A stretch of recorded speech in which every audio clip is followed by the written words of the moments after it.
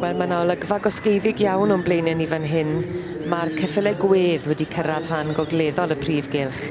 A'r gystadleuaeth arbennig yma i goff... geffylau gwedd mewn harnes E, saith wedi cofrestru, tri wedi dod yma ar y dornod, a mae'r rhai dweud Owen, mae'r olygfa'n arbennig yn diwe. E, mae yna safon arferchog i'r harnes sydd ar y tri yma yn y pen pella sydd yn allweddol wrth gwrs i'r gystadleuaeth yma hefyd o ran y golwg yn dweud. Wel, mae, mae hynny'n hollol wir, a ni'n gweld y beirniad wrth gwrs, wrth gwrs uh, Jeff Robinson, fe sy'n beirniadu adran uh, cyffylau gwedd yr enni.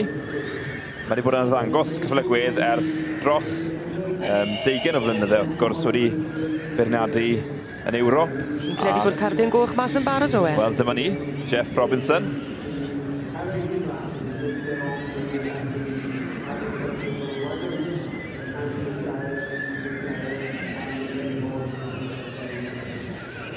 Dyma olygfa gosgeifig ac yn wledd i'r llygad gyda ceffylau gwedd mewn harnes. Dyma chi'r gystadleuaeth sy'n blaenau ni fan hyn.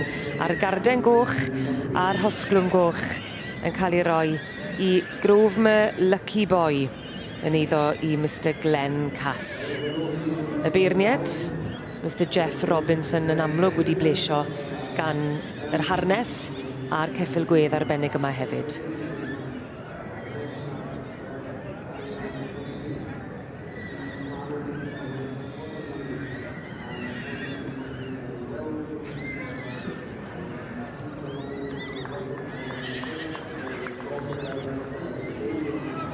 Mae yna rhywbeth cyntefig am olwg y ceffil gwedd yn yndo's? Mae ma' hynny'n wir, mae'n edrych yn, yn draddodiadol iawn yn dyw e? Mae'n ma taflu yn ôl i'r gorffennol, i'r traddodiad hynny o, o waith ffarm o bosib. Ond um, mae gweld bod, bod ei natur nhw yn, yn ffein iawn wrth gwrs. Y ceffil yma, wel, bron yn cysgu ar ei drad. Ond um, gobeithio wneithau e ddihinoi er mwyn cael rhoi sioi i ni. Mae yna rhywbeth am y ceffil gwedd sydd uh, mae'n drwtio fi, mae rai fi weid. Mae, wy'n cofio gweld um, pencampwr llynedd hefyd yn dyfedd. Yn wir, um, Sheep's Wash, Wash Even Tide.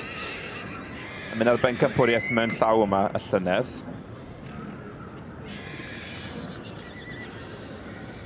I ni'n gweld yn cael ei dywys ar hyn o bryd, ceffil gwedd mewn harnes, yr un ddath i'r brig yn y gystadleuaeth yma.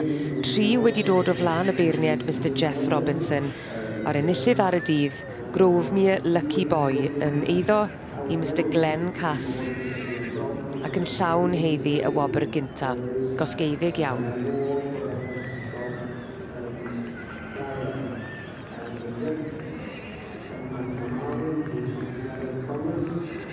Mae yna rhywbeth yn llonyddu rhywun pan mae pan mae chi'n edrych ar y ceffylau gwedd yma wrth i gwaith. Mae ma hynny'n hollol wir, a mae gweld nhw yn yr harnes yma hefyd yn yn denu llygad yn dywe. Ni'n gweld y cilch, llawer o frydiau Cymreig yn y cilch, ond rhyw ffordd mae'r mae'r sylw yn mynd i'r cornel a i weld y harnes ar y cyffylau gwedd yma. Tipyn o waith paratoi fyna hefyd yn dos pan i ti'n meddwl am yr harnes yr holl lanhau sydd iddo fe'r yr holl well, yr, fanylion bach. Ie, yeah, y bras i gyd, um, angen clai rhain yn, yn, yn reoledd.